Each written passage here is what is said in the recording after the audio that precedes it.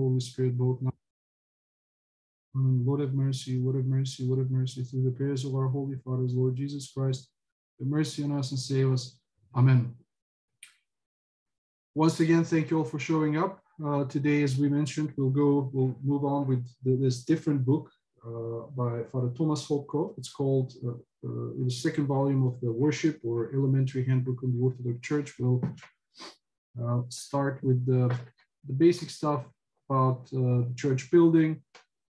Uh, we'll talk about the what is the, the altar table, what is the meaning of the sign of the cross, the oblation table, the icons, vestments, Christian symbols. Then we'll move to the second chapter, chapter which is the sacraments, like baptism, chrismation, Eucharist, penance, holy unction, marriage, holy orders, funeral, monasticism, and so forth. Then the daily cycle, uh, cycles of prayer. We'll talk about the Vespers Matins, hours compline, and the evening service, the church year, uh, the pre-Lent, Great Lent, the Lenten fasting, Lenten services, the liturgy of the pre-sanctified gifts, the Sundays of the Lent, something that we're now going through this uh, through this period, the Holy Week, Holy Thursday, Friday, uh, Saturday, uh, of course, the Holy Pascha, post-Eastern uh, services, then and some of the most important holidays within the church calendar year. Then chapter five talks about divine liturgy. We talk about everything. Uh, we talk about things like uh, the, the, divine liturgy in general, the prothesis, the blessed is the kingdom, great litany, antiphon, small entrance, epistle, gospel, fervent supplication, and so on. And then uh, we'll hopefully finish this book by, uh, I don't know, hopefully in a couple of months, and we will be able to move on to the, the third volume and so on. But today I'm just going to share the screen with you. We'll uh, we'll start with today's lessons. Uh, let me see, chat that rather share. Um, okay, here. Okay. I uh, hope you all can see the the the screen, uh, we start with the church building. Uh, so in the long history of the Orthodox Church, uh, a definite style of church architecture was developed. Uh, this style is characterized by the attempts uh, by the attempt to reveal the fundamental experience of the Orthodox Church that God is with us. So you will see that uh, in the church architecture, everything has its own meaning, um, and over the time, the churches have become uh, this temple of worship where uh, even the very design of the church is, is here to remind us of the truth that God is with us. If you remember, uh, this is a prayer or a little uh, excerpt from Psalms that we read on Matins, and we repeat it uh, throughout other services as well. So the fact that Christ, the Emmanuel, which translates means uh, translated means God's, God is with us, has come, determines the form of the Orthodox Church building. God is with men in Christ through the Holy Spirit. The dwelling place of God is within men. The Most High does not dwell in the houses made with hands, says St. Stephen, quoting the Old Testament prophets. And Paul says that men are the temples of God. And we read this in Ephesians. Uh, uh, St. Paul writes, Christ Jesus himself is the cornerstone in whom the whole structure is joined together and grows into a holy temple in the Lord, in whom you also are built into it for a dwelling place of God in the Spirit. This is Ephesians chapter 2, 21 to 22. The words of St. Peter are very much the same.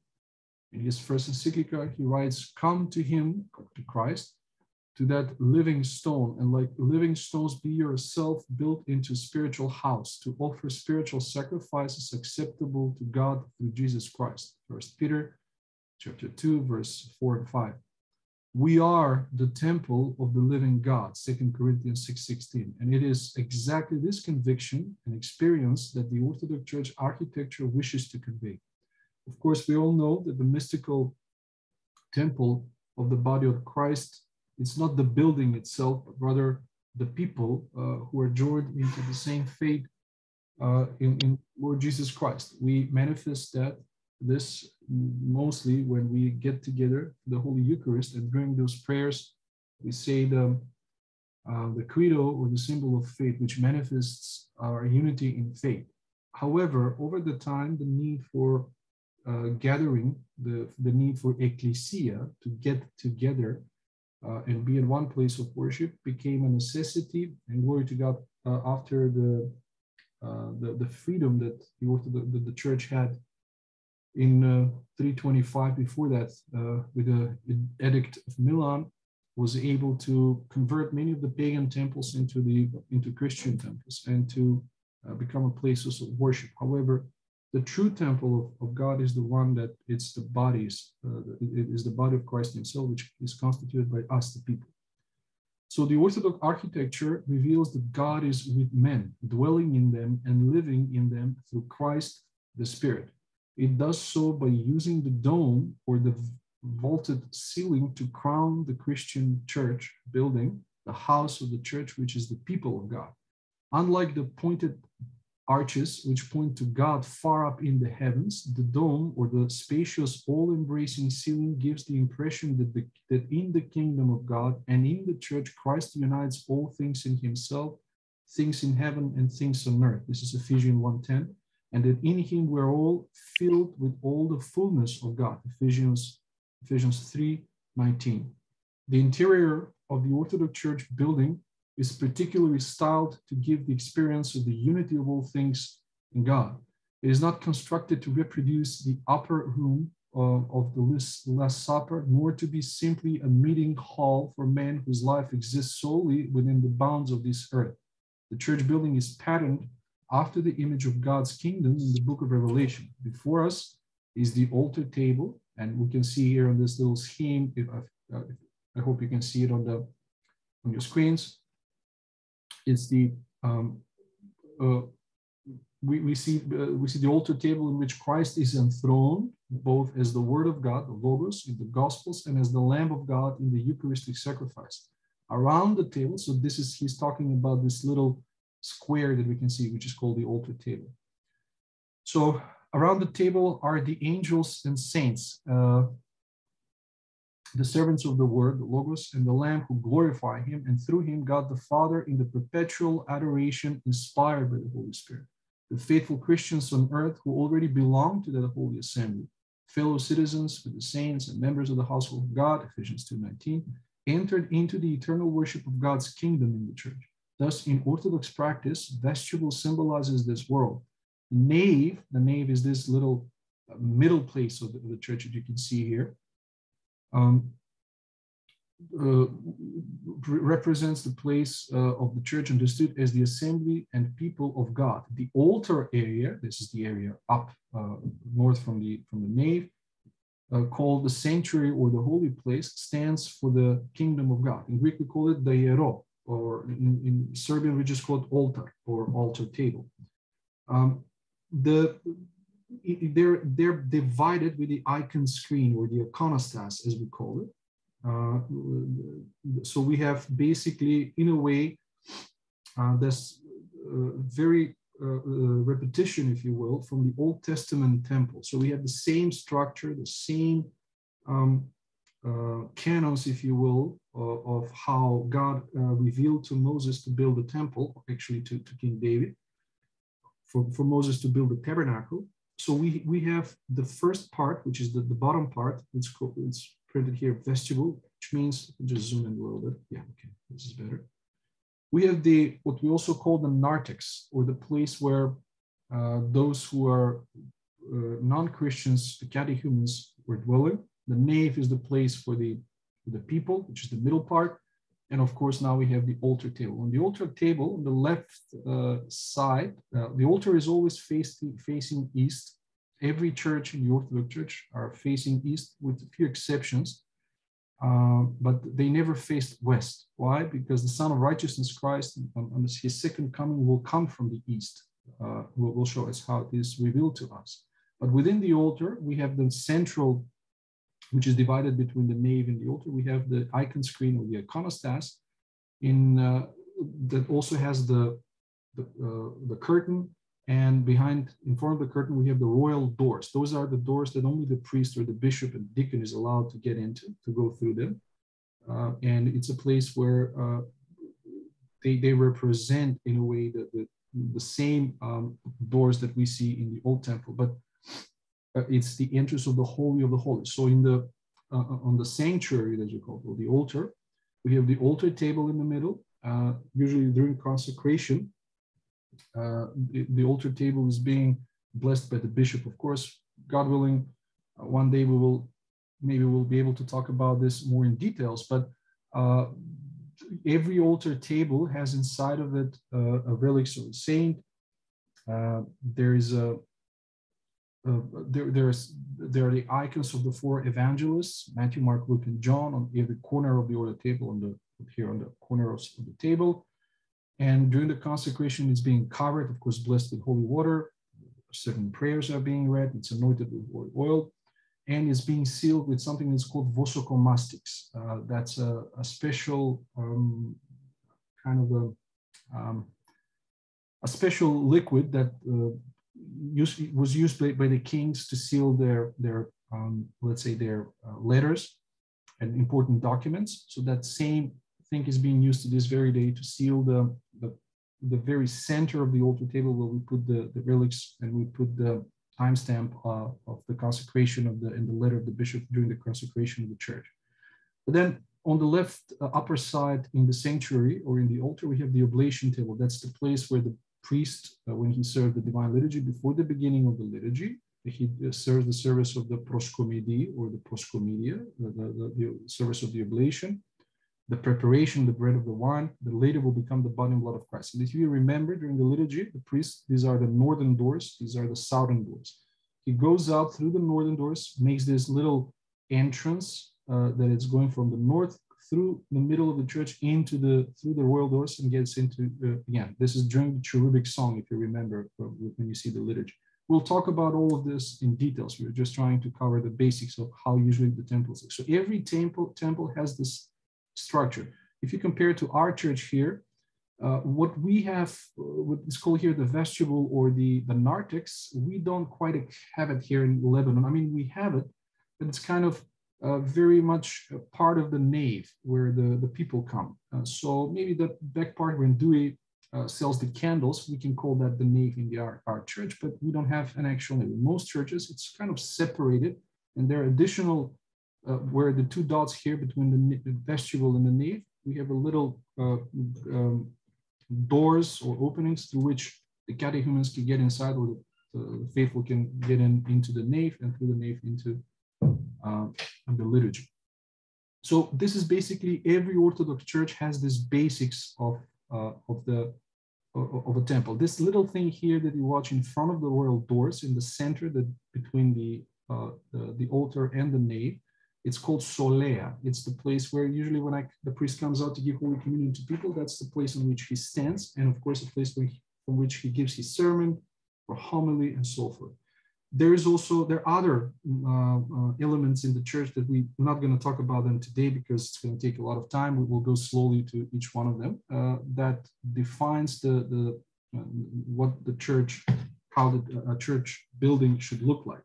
So uh, I'll try to see if we can find some uh, pictures to see what it's like, but maybe to explain a little bit more. But the thing is that what I want you to, to understand is that every church is designed in such a way that can have a fully liturgical function. It is uh, designed and put in use so it can function uh, for the liturgical purposes. Everything is designed because of the divine liturgy, because of the sacraments that are going to be performed over the years in that temple. Every temple has to be consecrated. If by God providence, something happens like uh, there was an invasion of en enemies, civil wars, pagans invaded uh, and they destroyed the temple. We cannot serve in that temple until it's being consecrated again. And there are many other canons that we're not going to get into today because we have plenty to talk about other things. But um, the liturgical uh, structure of the temple is the one that uh, gives the, the, purpose of the building of, of the churches as we know it there are many differences, the different architectures of, of, of, building the church, but they all have um, the main structure as we can see here. So we have the narthex or the vestibule, the middle part is the nave, and the third and the most important part is the Holy of Holies or the altar you know, divided with the iconostas or the icon screen.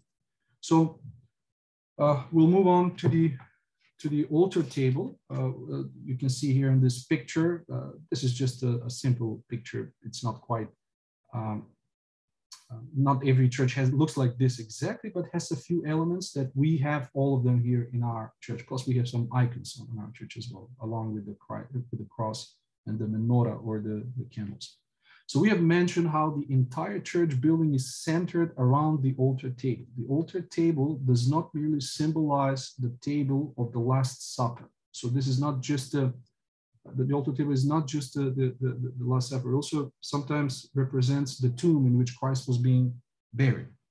The altar table, uh, it is symbolic and mystical presence of the heavenly throne and table of the kingdom of God, the table of Christ, the Logos, the Word, the Lamb, and the kingdom of the everlasting life of God's glorified dominion over all of creation. So now we have also as the throne of Christ. Uh, one of the uh, maybe most important representation of the the throne of Christ is the icon of Etimas, Etimasia. Let me just see if I can find. Uh, so that uh, you will see the pictures uh, actually about uh, that. it's, it's the empty throne upon which we are waiting for Christ to come. So here's one picture maybe that can be easy for you to see. Here it is. So we, you see that this is the throne. These are the cherubims around the, the throne, and in the middle, the, the, this dove uh, represents the Holy Spirit, which is holding on the throne of the coming of Christ in the last judgment. The reason why it's empty, it is because we're waiting for Christ to come and to sit on the throne and to uh, render his judgment. So we there are many, many interpretations of how, but the function of the altar table is the place where Christ is being sacrificed. He's serving himself the divine liturgy through the hands of the priest, the bishop, of course, and offered later into divine liturgy. So the book of Gospels is the perpetually enthroned on the altar table. You see on the altar table, we have this, uh, the book, the Bible, or the, the, the Tetraevangelium, uh, the four Gospels uh, combined into one book. They're being divided in special sections. We call them Zachala in Church Slavonic, or special chapters that are being used and read throughout the calendar year. So every Sunday, we have specific, uh, we mention every Sunday, but every day we have a specific gospel that we read, and they're always changing every year. But 365 days of the year we read them, especially on the Sundays and especially on big holidays or during the Great Lent and so on. So uh, under the, we see that the, the, the Gospels have the central place in, in the most holiest uh, place of the Orthodox temple. That's how the scriptures are very important in the Orthodox Church. So it is on the altar table that we offer the bloodless sacrifice eh, of Christ to the Father. And from the altar table, we receive the bread of life, the body and blood of the Lord's Passover supper. This table is the table of God's kingdom in Luke 13 29. In the Orthodox tradition, the altar table is often carved wood or stone. It is usually vested with colorful materials to show its divine and heavenly character. It should always be a simple table of proportional dimensions, often a perfect cube, and is always freestanding so that it might be encircled. And this is again because of the liturgical function. Why? Because during the ordination, uh, there's a place where the bishop stands on the left side uh, here on the altar, and the newly ordained deacon or a priest who is being ordained, he circles around, kisses all the four corners of the of the altar table. Upon which there is an icon of the of the of the evangelists of the spreaders of the writers of the gospels which represents the four corners of the earth the southeast and the west. And uh, also during the liturgy there are multiple priests who are serving together. They stand around the the, the altar. So that's why the altar is uh, usually like a cube or depending on the on the uh, on the size of the temple. You have this exact uh, uh, important um, uh, place. So, but let me just before Father Thomas Hopko looks like he doesn't mention here this important thing. You see that the, the, that the zoom out, zoom in a little bit. You see on the picture, we see that the gospel sits in the center, but underneath there's like a, a red cloth here. You can see. Uh, so this actually is the antiments. Uh, let me see just the see a picture of Antimus so I can show you. This is every church has something which we call the Antimus. Here, ours looks something like this. Uh, glory to God, our Antimus is very beautiful. Uh, we just got a new when our bishop uh, came uh, into our. Let's see if I can zoom in. So I hope you can see this picture, but uh, here is the Antimus. It's uh, when our bishop came, he he ordered every bishop when he comes to his new diocese, when he is enthroned into a new diocese, he makes his own Antimus. So here we see Christ being uh, prepared for burial. We see the, the nails, we see the, the crown of thorns. We see here on the on the upper corners, on each corner, we see the writers of the gospel. On the left corner upper side, we see St. Matthew, who looks like a human, like an angel. Of course, he's a, not an angel, but because he starts the gospel with the uh, with the genealogy of Christ, and because his gospel was written mainly to the to the Jews at the time to understand the human nature of Christ, and that he comes from King David, and this is the promised Messiah. That's why he, in the iconography of the Orthodox Church, always being portrayed or uh, iconographed with, uh, as, with a human body. On the right side, we have an eagle who is spreading his wings, holding again a Bible, holding a, a gospel, which is the writer of the last gospel, which is St. John, the theologian. Of course, he is not an eagle, but this is his symbol because the depth or the height of his theology uh, was above all of the other gospels, and that's why he's usually portrayed as, as, a, uh, as an eagle. On the left uh, corner side, we see the lion at uh, St. Mark, who starts his gospel with the cry of the lion in the desert with St. John the Baptist and announces the gospel to the people. And the right side, we see the calf, uh, also with wings. Of course, uh, this is uh, the symbol of the gospel of St. Luke, who, as we read last Sunday, the story about the, the, the slaughtered calf in honor of the turning of coming back of the prodigal son uh, is always portrayed on the side. On the bottom here, you see there's like a white stripe here under the, uh, little, there's a little text here. This is the stripe of the temple to which uh, this Antimus or this shroud is being offered to. Uh, this Antimus during the liturgy is open like this and the gifts are standing, the discus and the chalice is here. Uh, but underneath is the name of the temple and usually here would be the signature of the bishop who gave this uh, shroud or this antimins to the uh, priest or to, uh, to, the, to the local parish to serve. So basically, every priest serves in the name of, of, the bishop. This is very important to understand. There is a structure in the Orthodox Church. We don't, we are not freelancers that everyone, each one of us can serve whatever he wants, but we are serving in obedience. That's why the priest is a positive zero during the service. He is performing everything with a blessing toward and obedience towards his own bishop, uh, with whom he is united in faith, through, whom he received the priesthood in the first place, because the bishops are the continuation of the apostolic succession in the Orthodox Church. So, has the, the signature of the bishop. When bishop reposes, and let's say he dies, there's this Antimus will no longer be in service, but it should be replaced with the bishop who uh, succeeds uh, the, the reposed bishop, and he issues new uh, throughout the, his diocese, through all the parishes in whose name we remember. So this is very important to understand because at the beginning, the churches was organized like that. There was a hierarchical structure. It was the apostles who founded the church. They appointed bishops that they hierotonized or they ordained bishops.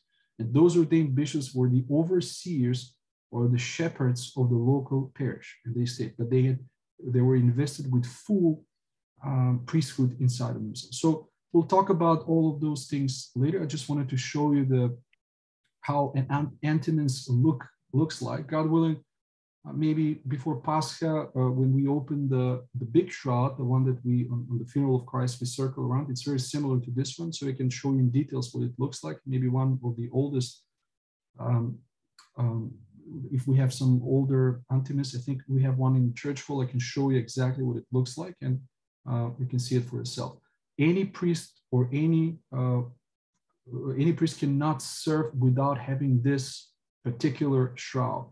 On top of the corner, where is the icon of Christ, I hope you can see here, uh, where Christ stands as God. He's buried as man, but he is still God. there's a little pocket in which we have relics of a saint. Each church has this. In our church, we have the saints of uh, the martyrs of Prebilovac. Those are little children who were being killed by the Nazis. Uh, and uh, we have their relics. They are being kept in a little uh, beeswax, being sealed like that. And then they are being put by the bishop during the consecrations of the antimisses into, the, into this little pocket. And we're using them to, uh, we're using them uh, to, to be there to, for veneration, but they're also they're being anointed with holy myrrh during the consecration. Uh, so uh, that can be done only by the new bishop who consecrates the new entities. And then, of course, he gives it, distributes that to, to his priests throughout his um, diocese. So that's what I wanted to do because that's a little detail. We'll talk about it a little bit more, but just for now, uh, we, we, I had to cover this because, uh, of course, uh, we see that and we need to, I want you to know what it is. So on the altar table, one always finds the antimension. This is what he says. This is the cloth depicting Christ in the tomb, which contains the signature of the bishop and is the permission for the local community to gather as the church. Antimension or antimens means literally instead of the table. Since the bishop is the proper pastor of the church, the antimension is used instead of the bishop's own table, which is obviously in his own church building, the cathedral, the place where the bishop as his chair cathedra. This is why I said that the liturgy uh, can be served only with the blessing of the bishop. We serve in his name. For that reason, many times you hear in the liturgy, I spend among the first, Lord, remember that uh, the, His Grace, our most reverend Bishop, Bishop and Father Irenee, and so on and so forth. The priest serves in his name because every priest is in obedience to his own bishop. This is uh, how uh, how it functions. So the antimension usually contains a relic, not usually, always, normally a part of the body of a saint, which shows that the church is built on the blood of the martyrs and the lives of God's holy people. This custom comes from the early church practice of gathering and celebrating the Eucharist on the graves of those who have lived and died for the Christian faith. Usually, a relic of a saint is embedded in the altar table itself as well. As I've told you, during the consecration of the church on the altar, there is also sometimes very often we put relics of saints into the altar table that are being sealed with this liquid that we call vosokomastix. But also we have relics of, of the martyrs into the into the antimony. That's why in the Orthodox Church, these are very, very important things and uh, they play a huge role of the liturgical uh, aspect uh, uh of the Orthodox Church. They, they, uh, we're connected with, with the saints uh, as you know, in the old Christians, uh, in, in, the very beginning, they would gather and do the Eucharist on the tombs. They would gather around the cemeteries and they would use the cemeteries upon the bodies of the martyrs to serve the liturgy. The antimis, which means instead of the place, uh, the, the, shroud that I, I, showed you just here, uh, we have it here, is also uh, that there because it's then instead of the, the, the bishop, but this shroud, for example, for whatever reason, let's say if we don't have a temple, we don't we don't have a, a physical uh, place of worship. We can use only the anthems and we can just gather in anyone's house for example or even outside under the tree under the blue sky. And we can if we have this child or this incarnation we can still serve the divine liturgy.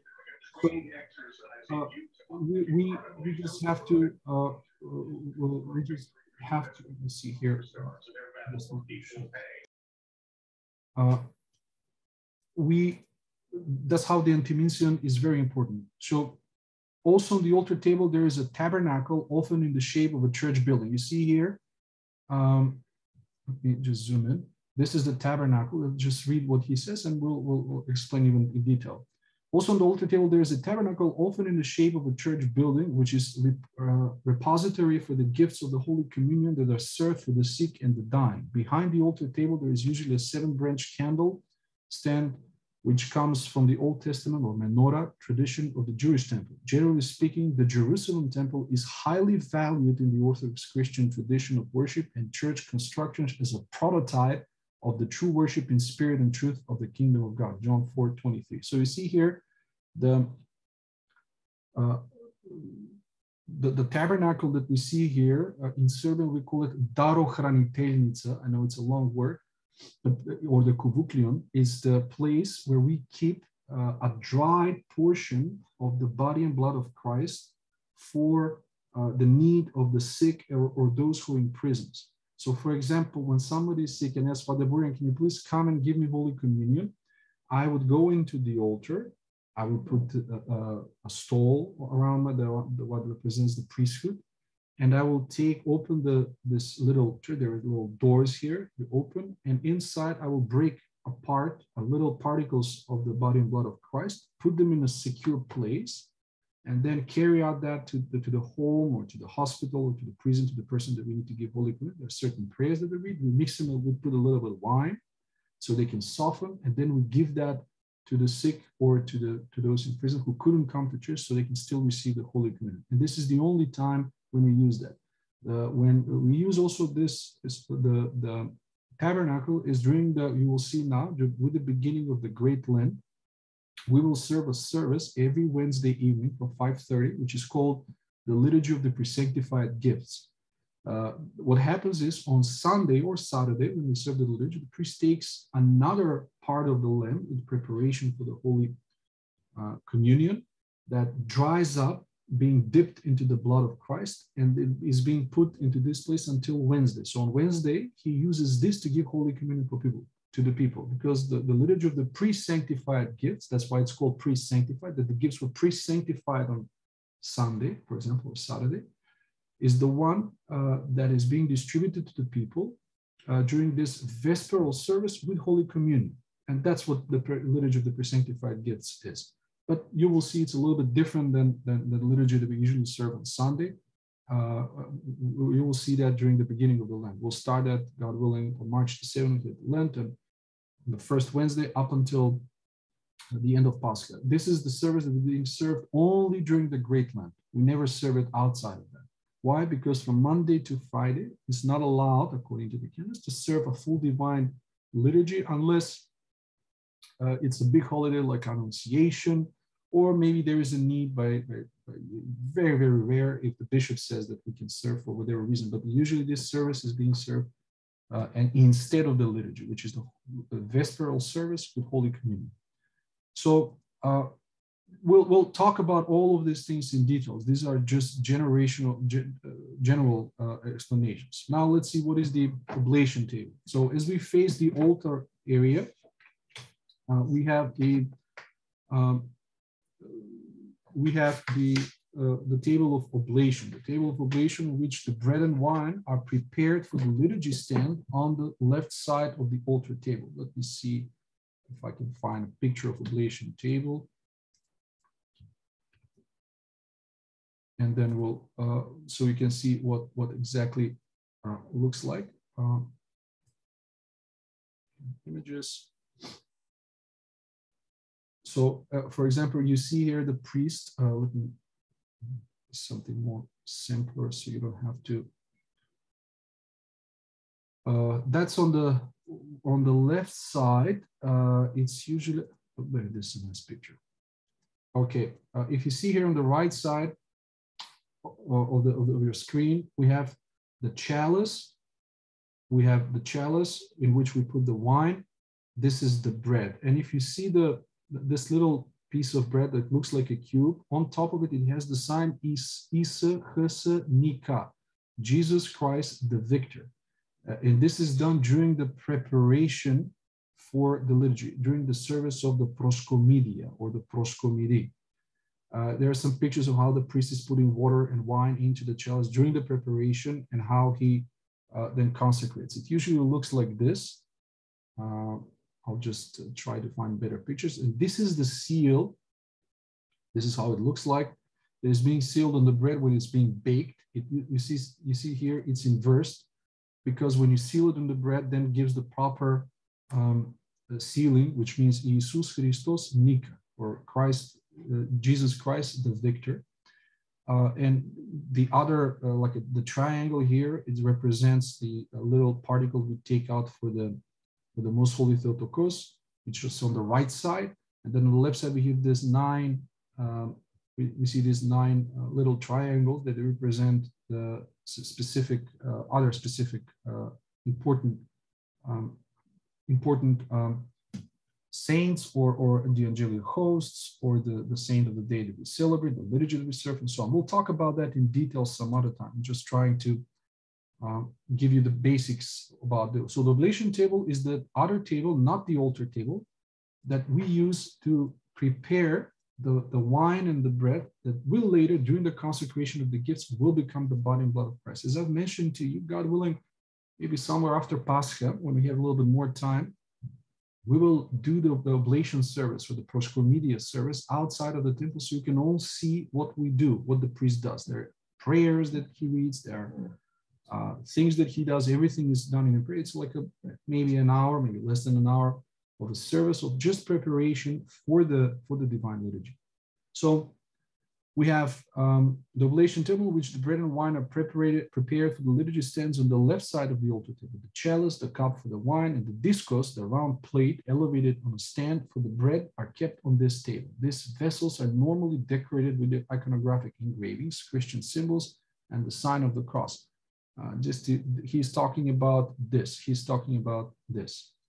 He's talking about the, the, the chalice, and this is called the discos. This is a plate elevated plate this little, this is the star and this is the spoon. And there is also a spear that was used uh, uh, to pierce Christ's body on the side by the Roman soldiers. And all of these are being put away. This is usually an icon that we see when we have the service of the of the proscomedia. You see here there are many chalices, but we use only during the liturgy we use one chalice. We use multiple chalices if there are many people and they're being both put into, into the altar table to be consecrated. But for the purposes of our liturgy, for example, in our church, we use only one.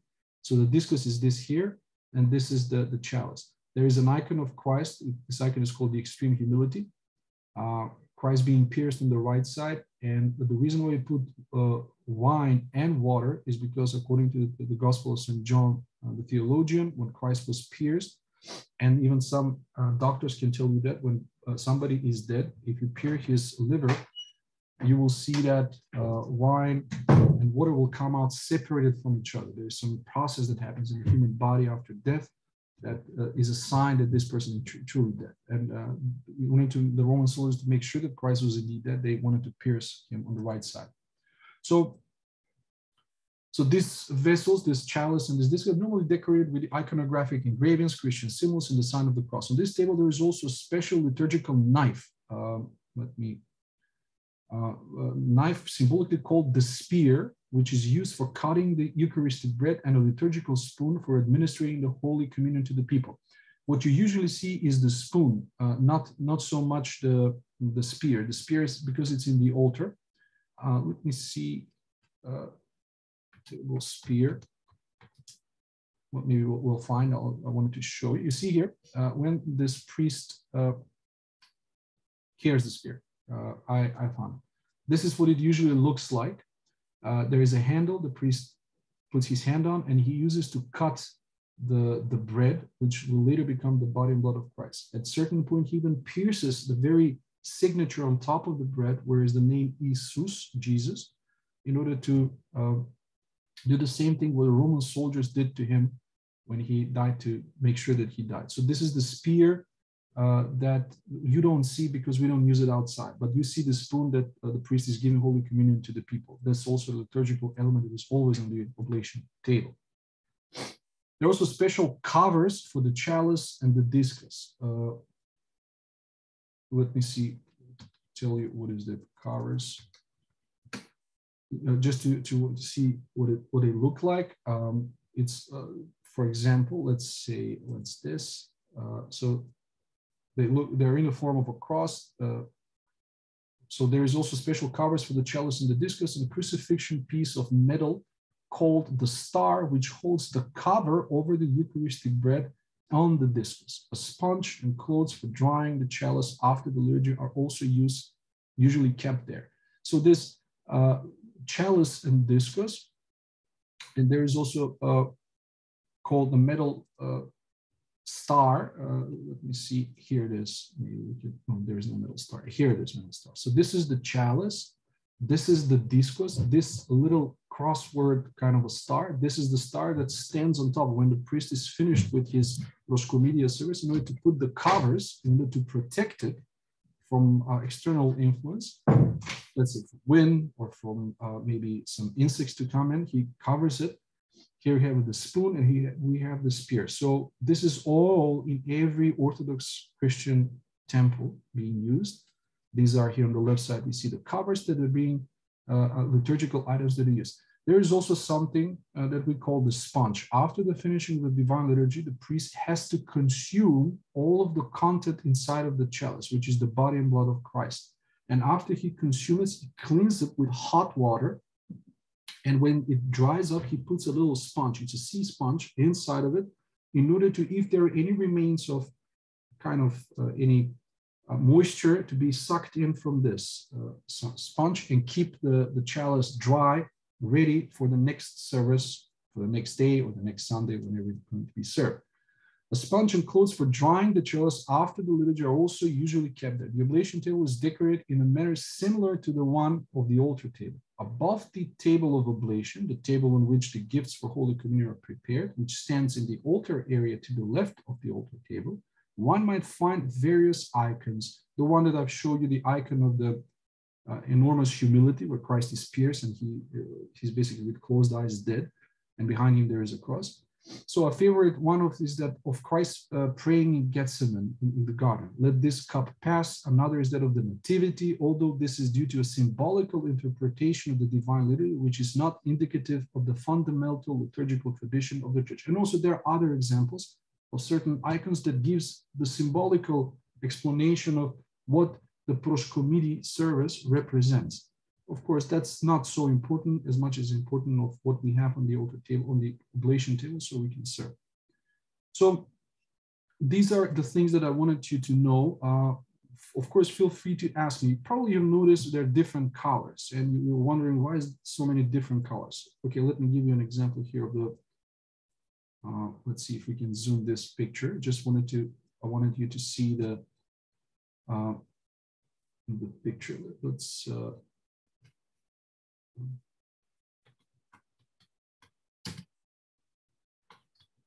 uh, why there are so many different colors. You see, even the priests, they have uh, different uh, vestments. Sometimes they wear red, sometimes they wear blue or purple, and so on and so forth.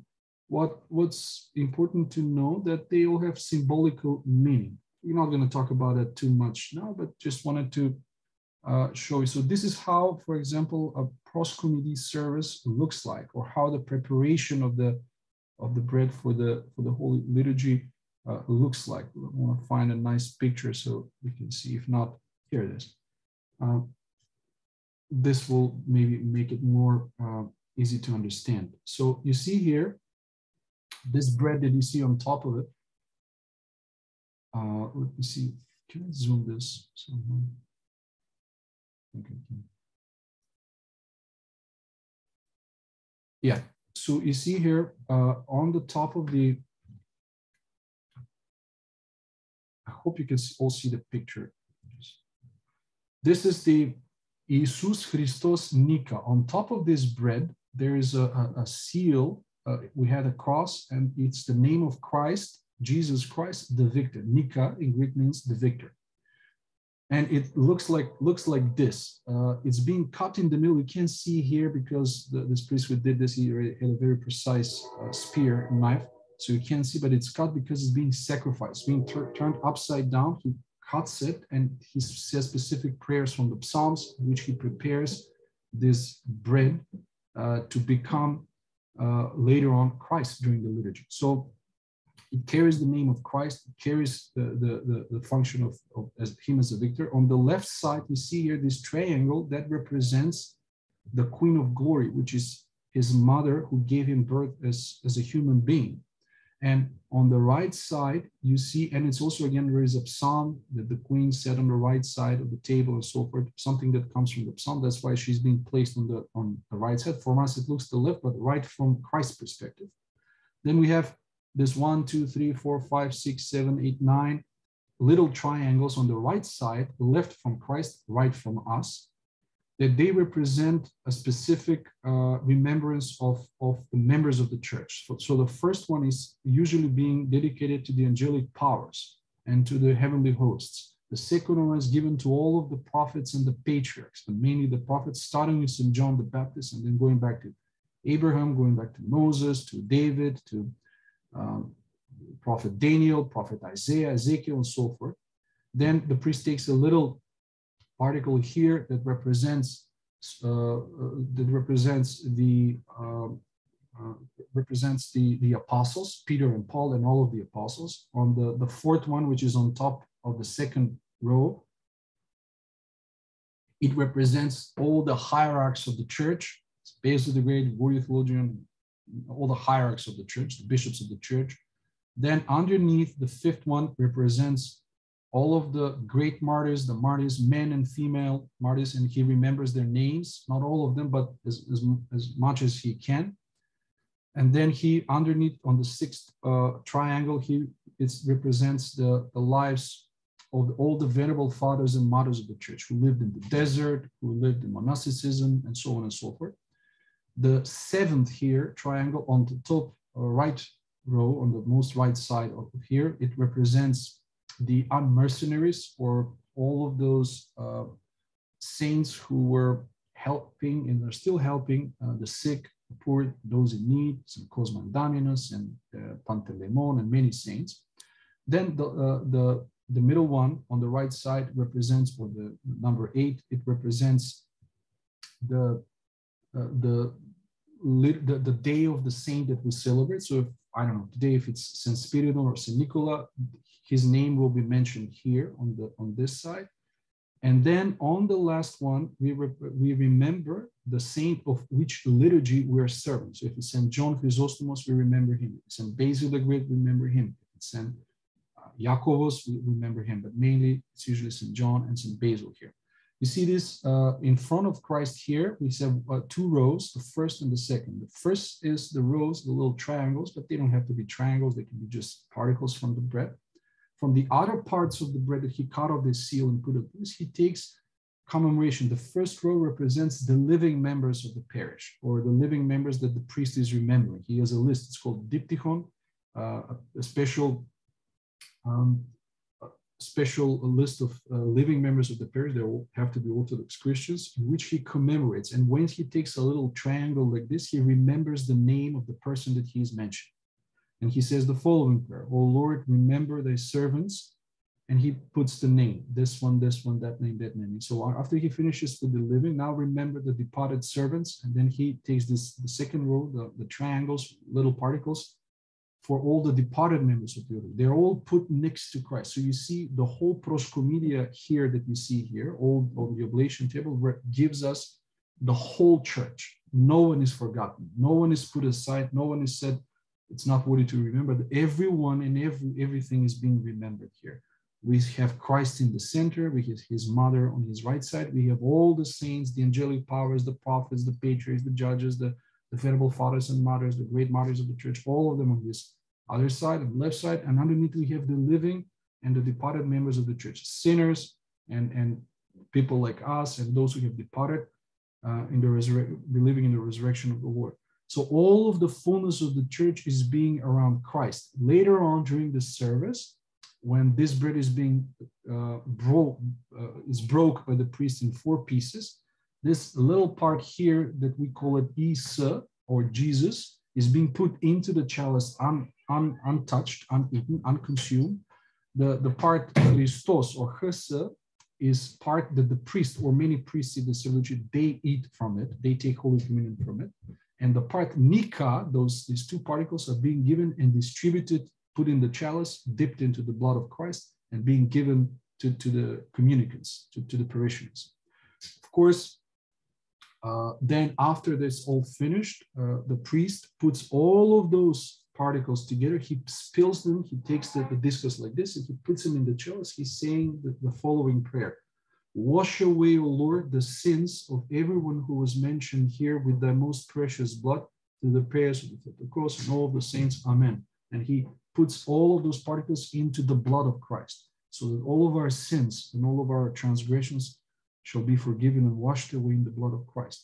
This is uh, something that we will uh, talk about more in the future. I'm just giving you the, the basics of uh, of what it looks like, just to have a visual representation. We'll, God willing, maybe we will do one day this uh, together so you can see how it's done.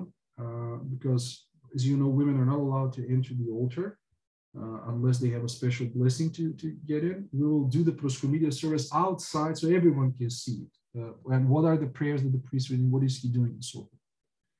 Now let's move on to the uh, to the to the chapter of the icons. Uh, let me see why did have the cross here. Uh, maybe it will be here. Ah, yeah. Okay. Uh, so we have uh, the icons. On the, in the Orthodox Church, the icons bear witness to the reality of God's presence with us in the mystery of faith. The icons are not just human pictures of or visual aids to contemplation and prayer. They are the witnesses of the presence of the kingdom of God to us and so of our own presence to the kingdom of God in the church.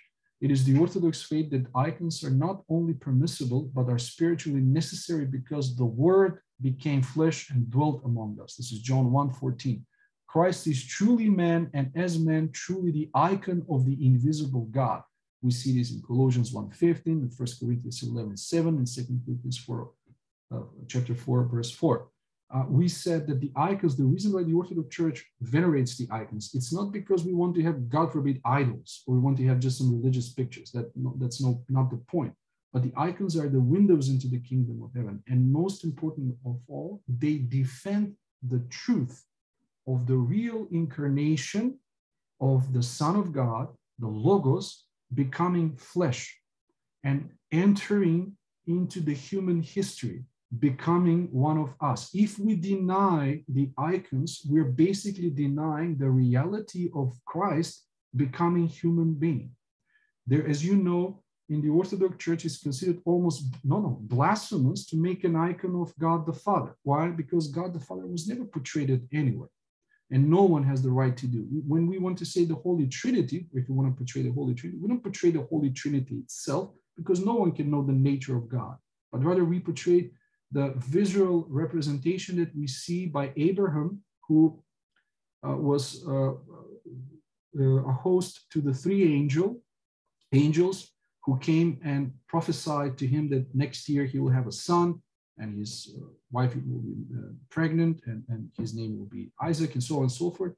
Uh, that's the only visual. It's, it's that's why that's why it's called icon, not the essence, not the original, but the icon of the visible manifestation of God. So Christ is truly man and as man truly the icon of the invisible God because the Logos became flesh and dwelt among us, as John says in 114. So the iconostas or icon screen in the Orthodox Church, that's the part that separates the altar from the, from the nave or from the naos, exists to show our unity with Christ, his mother, and all the angels and saints, because the Orthodox Church is one huge family. And even though there is a historical uh, uh, distance between now and 2000 years ago in the Orthodox Church, time does not matter. It is like Theotokos died yesterday or died last year on the mission, and now she's going to die again this. And this, all these there's this participants into the constant present, the constant life of the church. There is no past in the Orthodox Church. It's all now. It's all present. So uh, his angels, he saints, uh, it exists to show our unity with God. The altar table, which stands for the banquet table of the kingdom of God, is placed behind the so-called royal gates between the icon of the Theotokos and child and the glorified Christ on, on, on the right side, showing that everything which happens to us in the church happens in history between those two comings of Christ. So the first coming of Christ is like a babe. That's why on the left side, on the royal doors, when you enter the church, you see his mother holding him in her his arms, and Christ is like a baby. But on the right side, we have only the icon of Christ as a grown-up person, as he was revealed to us in his last three and a half years of, of preaching, of, of, of ministry. So we have the first coming of Christ and the second coming of Christ uh, showing to us like a, like a grown-up. So uh, of the Theotokos child and the glorified Christ, showing that everything which happens to us in the church happens in the history between those two comings of Christ, between his coming as the Savior born of Mary and his coming at the end of the age as the King and the Judge. The icons on the royal gates witness to the presence of Christ's good news, the gospel of salvation. On our, for example, in our church, we have the Annunciation. We have Archangel Gabriel giving a blessing and speaking to, to the most holy Theotokos, who is waiting or accepting with Amen his message that she will bear a son, that his name will be Jesus, and he will be uh, the reason for the salvation of many. So the four evangelists who recorded the gospel appear and often also, because not only the Annunciation, but some, sometimes the four evangelists can be depicted on those royalty. An icon of the Annunciation, the first proclamation of the gospel in the world. In Greek, the gospel is the Evangelion. The authors of the gospel are the Evangelisti, the, the Annunciation, the Annunciation, the Evangelismos. That's what's the name of the what Annunciation means. Those who have announced the coming of Christ. Over the doors, we have the icon of Christ's mystical supper with his disciples. Um, so uh, let me see if I can uh, um, find some altar icons. Uh,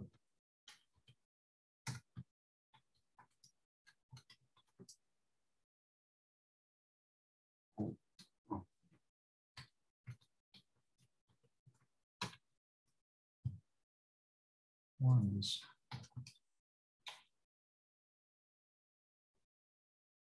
Uh, let me see altar icons. Maybe this is nice. Uh, something you can see It will be more easier for you to uh,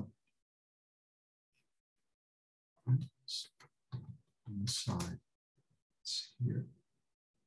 Okay, maybe maybe we can see this. So uh, you see here uh, their icons on the left and the right side. He would be the the the, the, the holy hierarchs of the church, but uh, this church doesn't have maybe this one has. Okay, here maybe we have the best representation. So maybe this one will give you the best uh, how an Orthodox church looks like.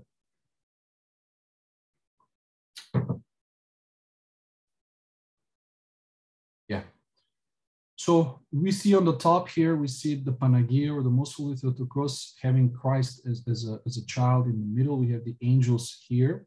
We have on the second layer, we have Christ giving Holy Communion to the apostles. On the left side, he gives them the, his body, the bread, that we take the Holy Communion with the apostles. On the right side, he gives them the, the blood. Of course, Christ was not two people, it was one person, but this is the iconic representation.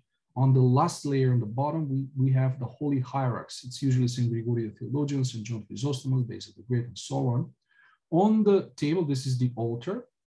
This is the oblation table. On the left side, we see Christ dead or pierced on, the, on his right side. And this covers this covers basically the chalice and the, the or the, the chalice and discus, the, the, um, um, the plate, elevated plate, in which we put the bread, and on the chalice we put the wine and the water.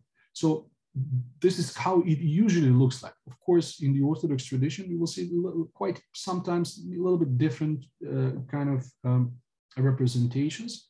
So uh, it, it's up to the to the tradition of the iconography in the church, which is very old, uh, that, that we feel differences. So over the doors, we have the icon of Christ's mystical supper with his disciple, the icon of the central mystery of the Christian faith and the unity of the church in this world, in the world.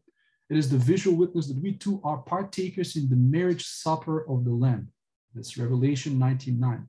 That we too are blessed by Christ to eat and drink at my table in my kingdom. Luke 22, 30. Blessed to eat bread in the kingdom of God. Luke 14, 15.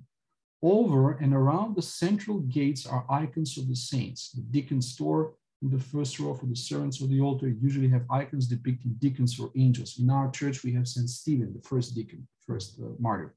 God's servants. The first row also has an icon of the person or event in, in um, given uh, whose honor to given building is dedicated, along with other prominent saints or events. Just to give you uh, iconostas.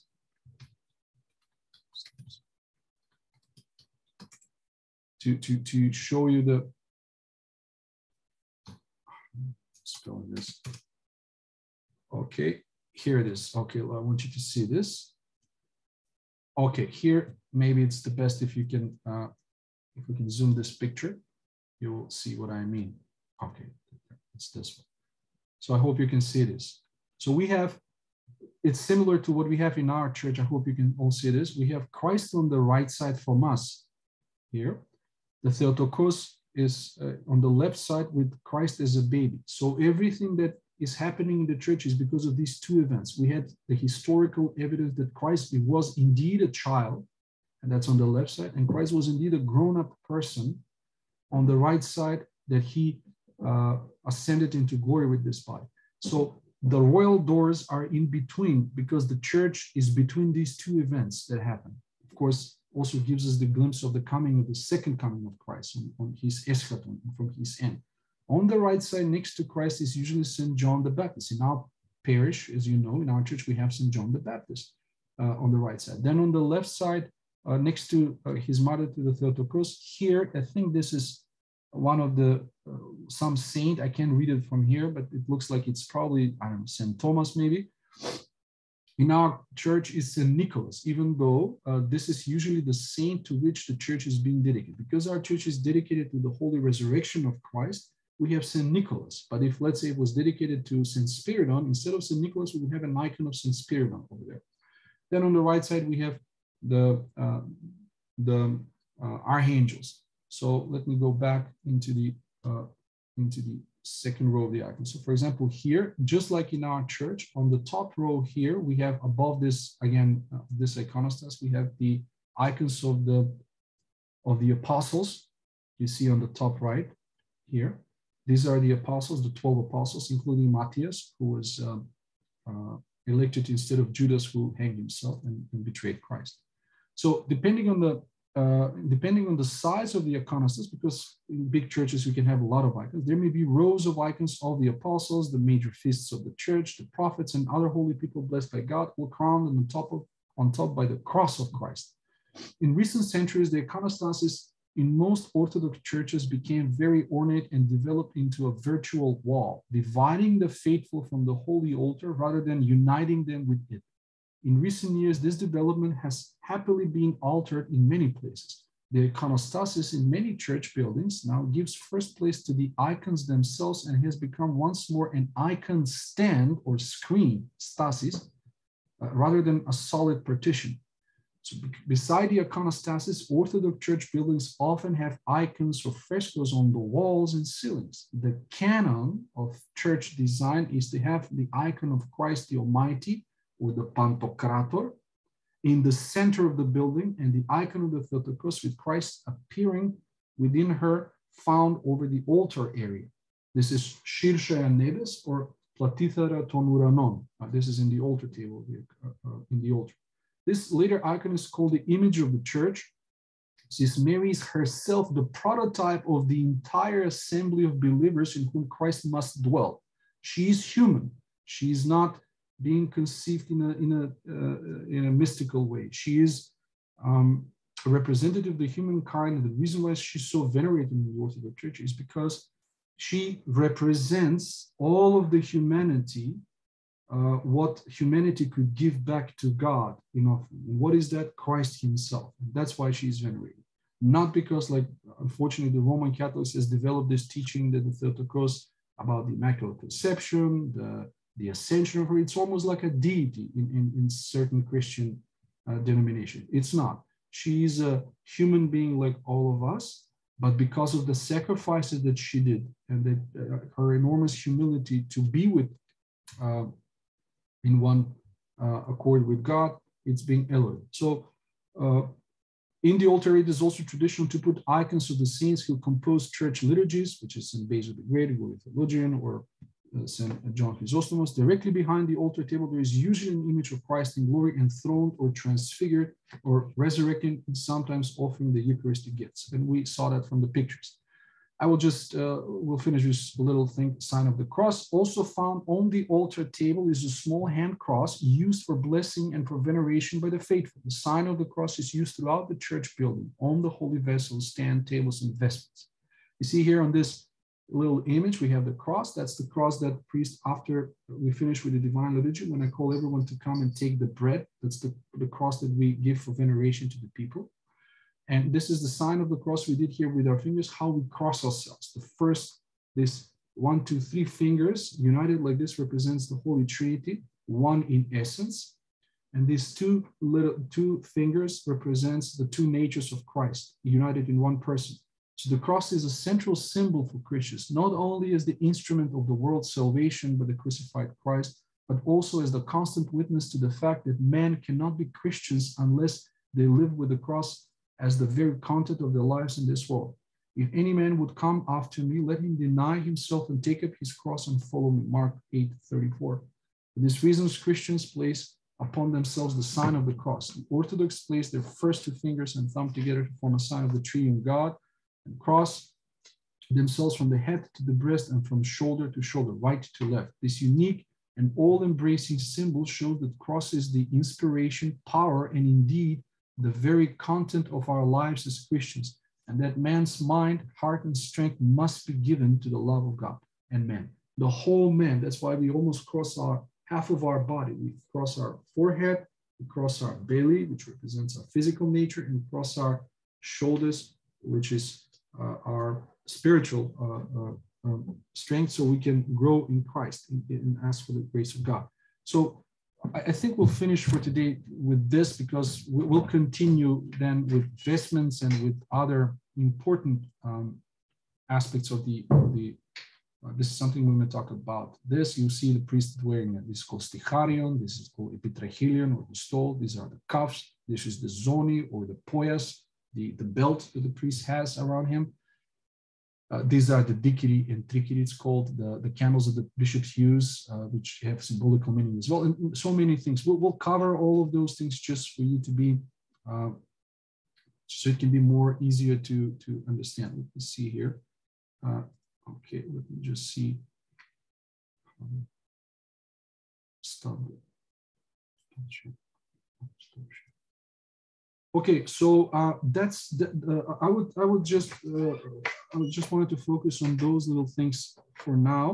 God willing, we'll have many things to cover: the Christian symbol, the sacraments. But uh, it's important for for you to just see the basics of of many of those little things that we have in the church, and it's important to just be able to discern what they are and what is the meaning behind all of them. Uh, we have plenty to talk about all of that, but we, we, we want to go slowly to just explain visually everything. And if you have any questions, feel free to ask. Uh, God willing, as I've mentioned before, we will be doing the uh, we will doing the service uh, in a way that you can all see it how it's done, which prayer the priest. Why do we read those prayers? Why are so important? And all of the things that the priest does when he, for example, prepares for the divine serving of the divine liturgy. But in general, every priest, the day before he serves the liturgy, let's say he serves the vesperal service, then when he reads his personal prayer rule that every priest has, he also reads something that we call the canon of the Eucharist, of the preparational prayers for, the, for receiving the Holy Communion. He, he reads them in his own name, but also in the name of the parishioners who are coming tomorrow to receive the Holy Communion. And then on the day of the Holy Communion, an hour before the Divine Liturgy. Let's say the liturgy starts at 10, the priest comes at 9. He first starts by reading the, the kairos or the, the kairos, the, the, the taking time, the prayers of time. And then afterwards, he enters through the southern doors into the altar. He dresses himself in the vestments. For each part of the vestments, he says a specific prayer that is from the Psalms.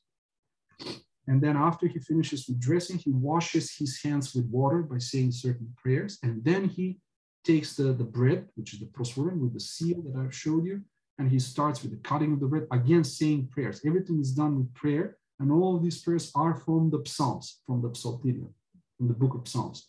And then uh, moves on. We'll, we'll, you, you will see one, one, once when we talk about this in details. Hopefully, you will be able to see it with your own eyes, so it can be more easy to understand. Most of the time, you don't see this because when people come 9 30, 10 o'clock, uh, the priest is already in the altar and he has already finished those. So you only see the visible part of the liturgy, which is serving of the of the divine, which is okay. That's the most important. But maybe one day we can, can do this.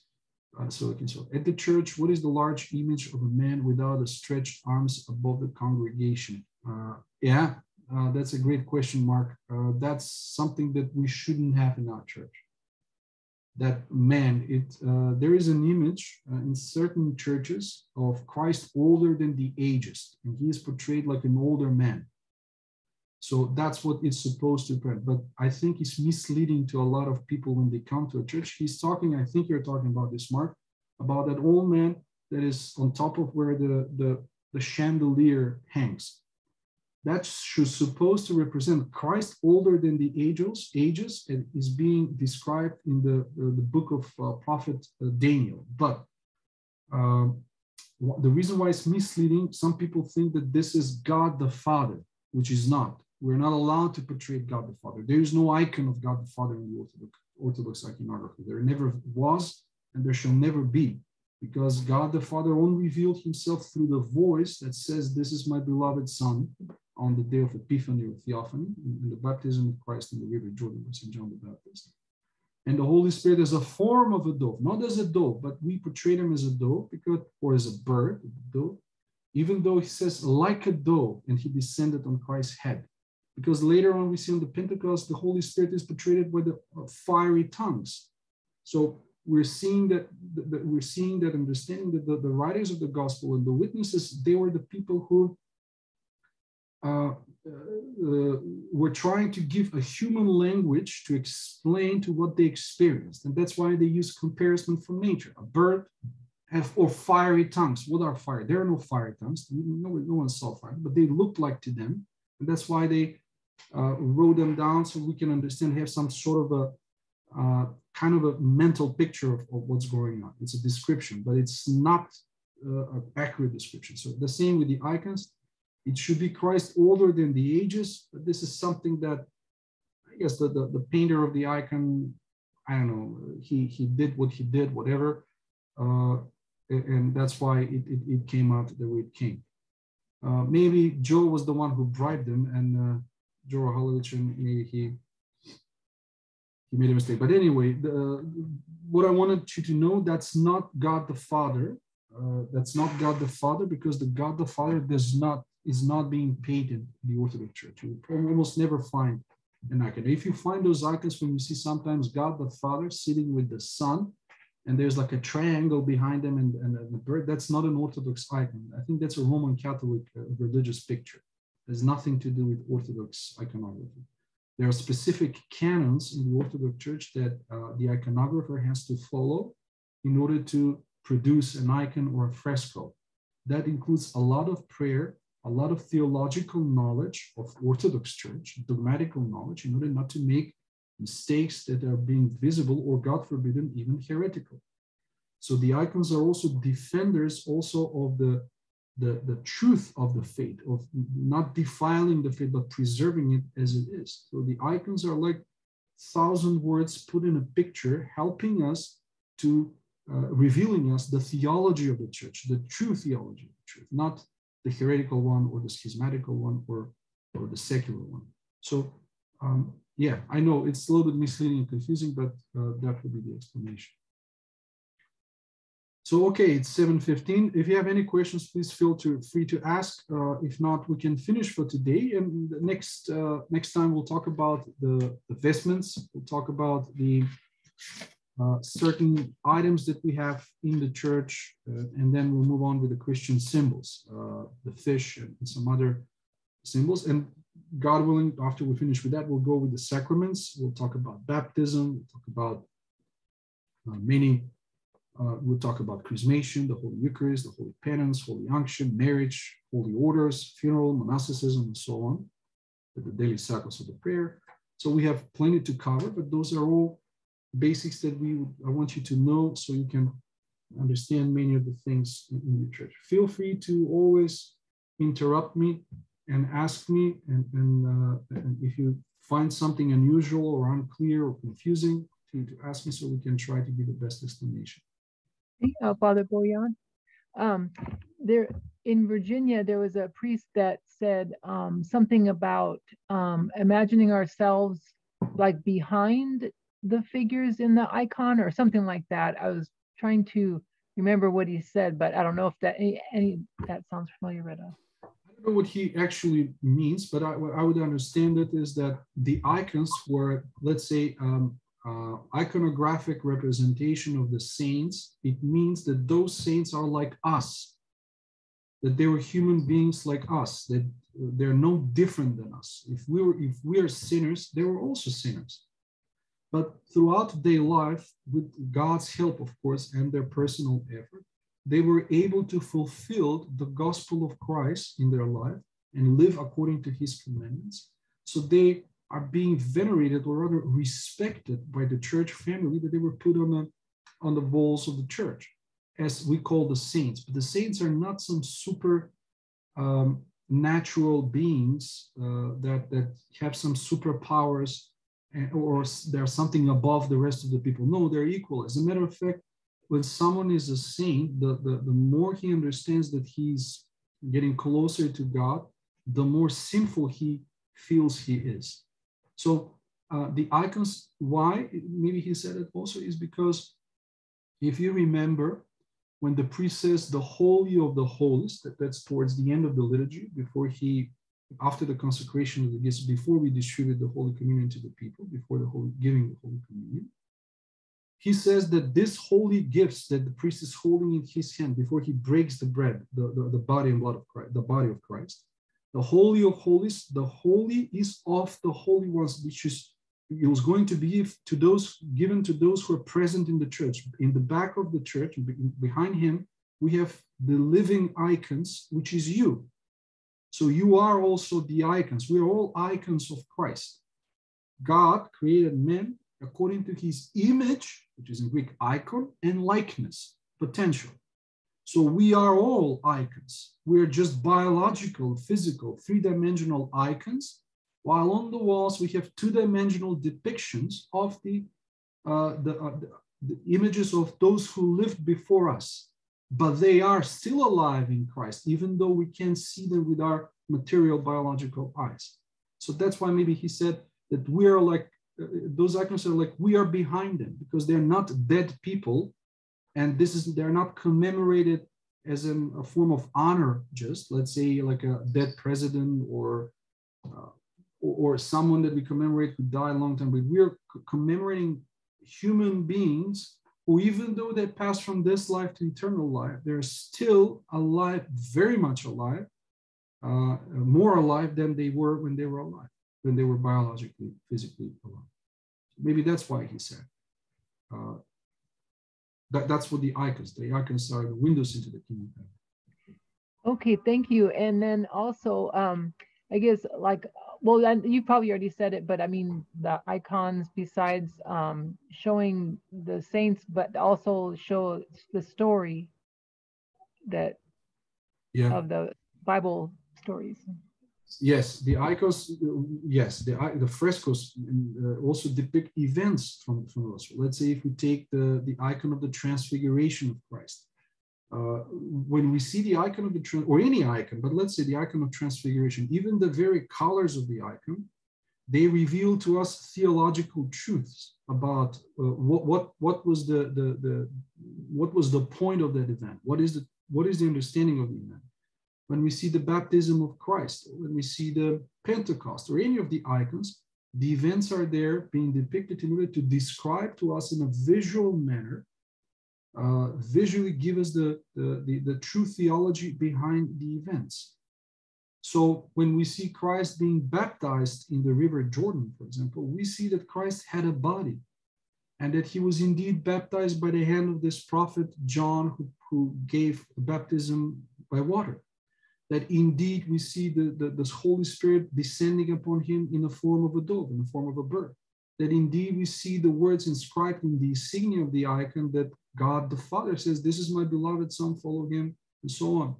We see the people around, we see the fish, we see a real environment that describes the event. And let's say they uh, played a huge role, especially in the, in the beginning of the church. The icons, and especially the depiction of the events, but icons of the saints were present among the first Christians. I strongly recommend that anytime when you travel to Greece, or if you travel to Rome in Italy and when you want to see the catacombs, or you've seen the first Christian catacombs or uh, temples that were underground or those that were uh, for many years hidden in order because because of the persecutions, you will see there are many signs and icons on the walls by the first Christians.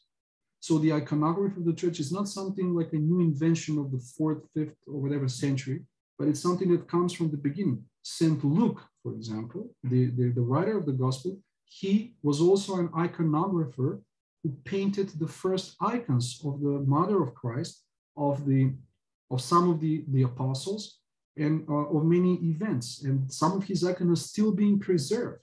Of course, they're very darkened, and uh, but we know that they come from him.